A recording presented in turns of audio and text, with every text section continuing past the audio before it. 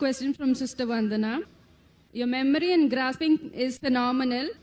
Is there any mention about better memory power? Sister asked the question that my memory is phenomenal through the grace of Allah subhanahu wa ta'ala. Is there any verse in the Quran which speaks about memory? As far as people keep on asking me that what is the secret?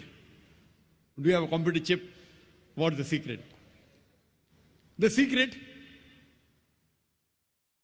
it is given in the Quran.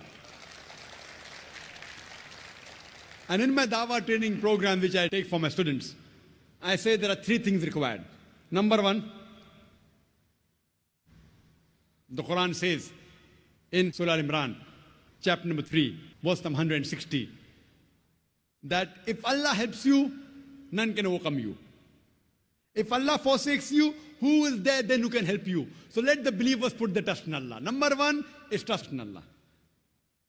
Number two, the Quran says in Surah An-Kabut, chapter number 29, verse number 69, if you strive in the way of Allah subhanahu wa ta'ala, if you struggle and do jihad in the way of Allah subhanahu wa ta'ala, Allah will open up your pathways. Number two is hard work.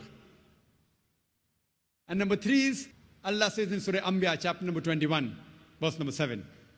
And Surah Nahl, chapter number 16, verse 43.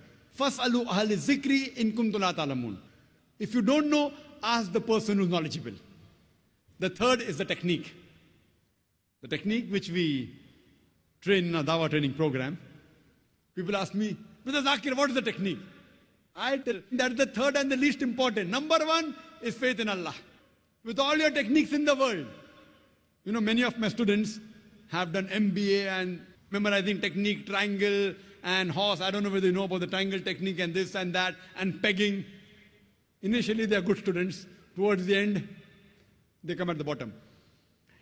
Allah's help is the best, better than any pegging or any triangle, anything. Number one. How do you get Allah's help? If you strive in His way. You strive in His way, you have to get success. If you don't get success, you are not striving correctly in the way of Allah subhanahu wa ta'ala. Regarding technique of memory, etc., that is least important. We have a training course where we have a 40 days training course where we train people, and mashallah, you'll be shocked that even my students, alhamdulillah, they quote chapter number, verse number, chapter number, verse number.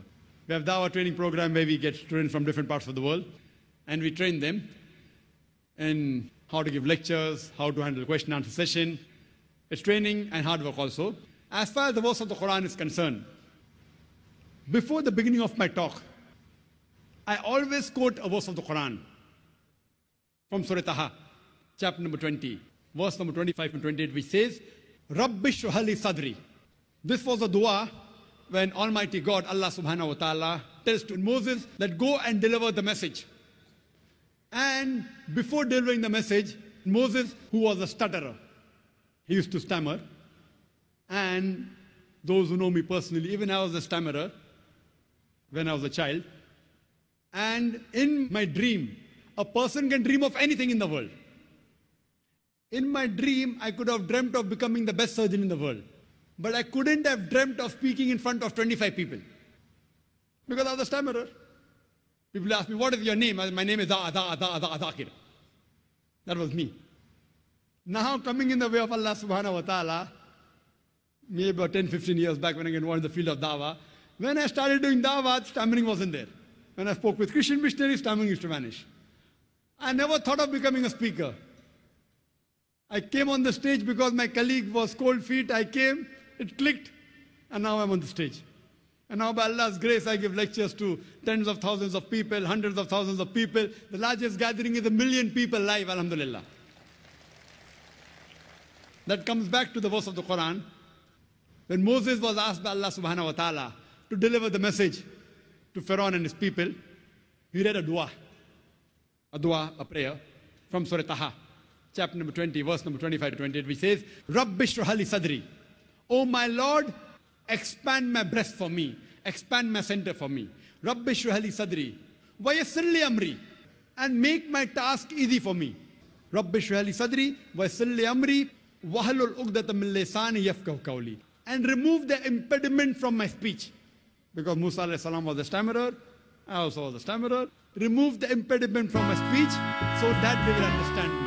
So the people to whom I'm delivering the message, I ask Allah subhanahu wa ta'ala to expand my breast for me, to make my task easy for me, remove the impediment from my speech so that the people understand me. So this is the dua which can also be used for memory. But the main is having faith in Allah, second is striving hard, and third is technique. Hope that answers the question.